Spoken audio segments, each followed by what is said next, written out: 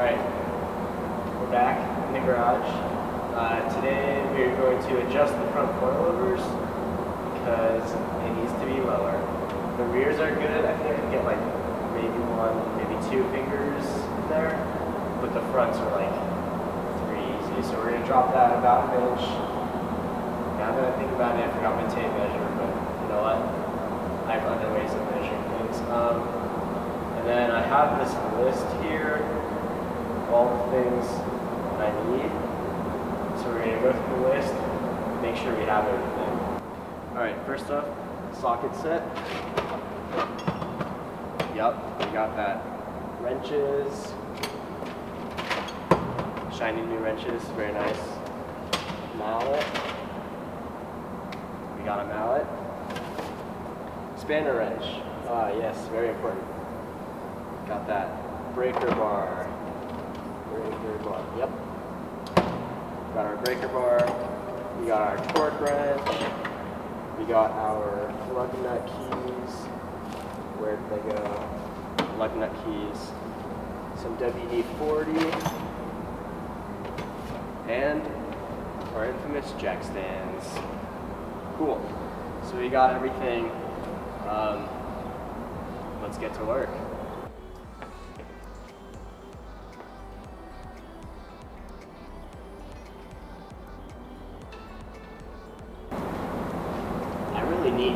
Get an actual jack. You know your car is really stiff when the rear wheel comes up when you're jacking the front. We already messed up. So, I forgot to bring a tape measure to measure how much I need to drop the coils. But beyond that, I forgot to just measure before I took the wheel off. So I don't know how much I need to drop them. I'm going to, I'm going to drop them three quarters of an inch. Now, I don't know how I'm going to figure out how much three quarters of an inch actually is, but we're going to drop them three quarters of an inch. That's the goal.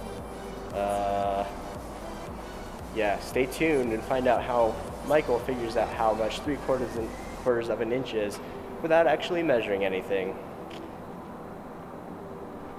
All right, so the wheel's off. Here are the coils. They are ISC coilovers with, I think, the race or track dampen dampening setting. So they still have 32-way adjustable dampening like in the hood, um, but they're just all stiffer than the other options. Um, so yeah, we need to break this bolt loose. It's not a bolt, it's a ring or whatever. We need to break it loose before we undo it. That way we have something. I don't know, when I was putting them on, the dude was like multiple times like, shit, should have broken it loose before I took them off. So we're gonna break them loose first. Um, and to be honest, I don't know how much to raise it. I wanna say maybe that much, maybe less, maybe more. I don't know. We it it could be trial and error. So like we could basically drop it a bit, see how we like it. If it's too low, raise it. If it's too high, lower it. But let's hope that it's just perfect the first time because that'd be tight. All right, so first thing we're gonna do is break this lower ring loose and hope that's not too difficult. Nice, that was easy. Okay, that's good. Um, now I'm gonna take off these two bolts, which are 19s, I believe, and then take off the brake line and the ABS line, which I think are 12s.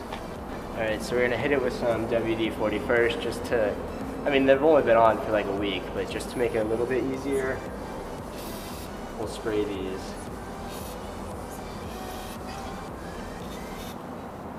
I don't know about you guys, but I kind of dig the smell of this stuff. It's pretty good.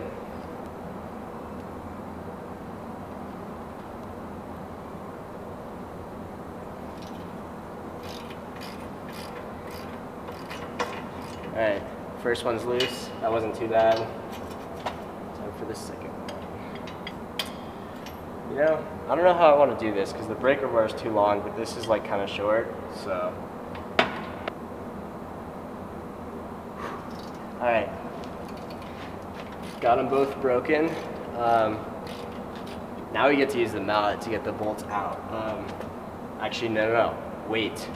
Brake lines. I don't want this hub pulling all its weight on these brake lines, so I gotta make sure I disconnect those first. And then remallet.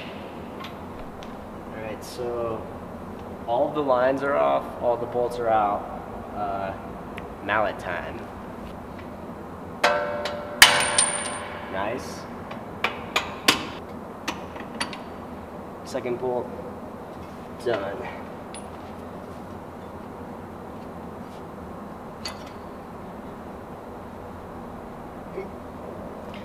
All the bolts are out. We're ready to raise this coil. Um, hold on, let me put it back down all the way. So that's stock height. If I want to raise it, hold on. Solution. All right, so earlier I mentioned I wanted to raise it three quarters of an inch, but I also mentioned I didn't bring a tape measure and had no other way of measuring three quarters of an inch. Well, this socket right here Ah, there we go. All right, so this socket, three quarters of an inch. So I'm just gonna take basically this socket and see if I can fit it through the ring and the strut. Strut, strut? Whatever. And that will give me roughly three quarters of an inch. The best tools are the one you have. But I could have brought a tape measure. It's sitting on my desk, I know. All right, so that was actually pretty easy. That's about three quarters of an inch. So we are going to wind this up, tighten it down, and then put everything back together. Drop the car, and then see where we sit, and either change it or just assume it's good and do the other side. All right, so I got the strut, whatever this bottom piece is, all the way up, pretty much all the way up. So we're gonna put this all together, tighten it down, drop it, and see how it sits. I already said that, but like, I said it again, so just in case you missed it the first time, that's the plan. I'll see you when the car is back on the ground. All right, this height is much better. But like, that's good. It's pretty even with the back here. But the back's, it's eh, a little tight. We dropped like a whole finger so, I mean, is a finger three quarters of an inch. That looks good to me. I'm gonna go ahead and do the other side and then we will close out the video because they're the same. I don't need to show you twice. Finished the other side and they're both even and they both look great, so that's cool. And then I also maxed out the camber on the camber plates. Um, to be honest, it's not even that much. I don't know how much it is, but I'm gonna get an alignment probably sometime this week. And I think I'm gonna ask for negative two degrees because I've read that that's pretty good um, as far as handling goes. So we're gonna go with that. So I just max it out just, just cause. And to be honest, it's not a huge difference. Like if we look from over here, like it's not even It's like not even that much camber, but it looks cool. I'm digging it.